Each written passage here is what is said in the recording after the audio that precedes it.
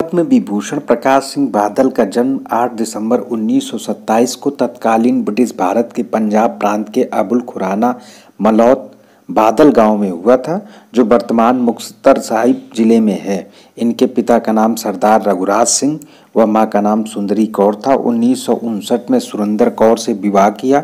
दोनों के एक बेटा सुखबीर बादल, एक बेटी परनीत कौर है। 2011 में पत्नी सुरिंदर कौर का निधन हो गया। प्रकाश सिंह के भाई गुरदास सिंह बादल भी राजनीति में सक्रिय। उनका लड़का मनप्रीत सिंह, पंजाब के वित्त मंत्री। प्रकाश सिंह बादल स्थानीय शिक्षा अपने गाँव में प्राप्त करने के बाद क्रिश्चियन कॉलेज लाहौर से स्नातक किया।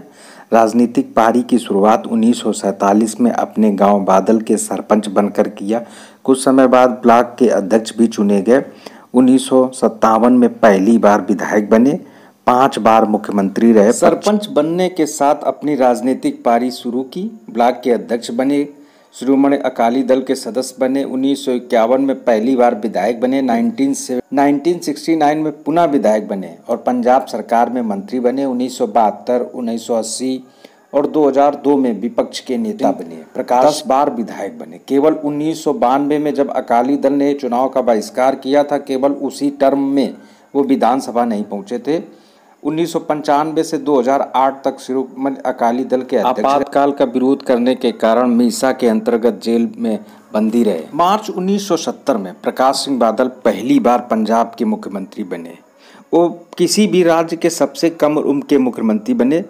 शिरोमणि अकाली दल संत फतेह सिंह भारतीय जनसंघ ने मिलकर के पंजाब में सरकार बनाई थी।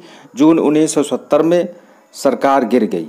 किंतु नाटकीय घटनाक्रम के कारण 2 जुलाई 1970 को पुनः प्रकाश सिंह बादल मुख्यमंत्री बने। तीसरी बार 12 फरवरी उन्नीस सौ सत्तानवे से 26 फरवरी 2002 तक प्रकाश सिंह बादल मुख्यमंत्री रहे।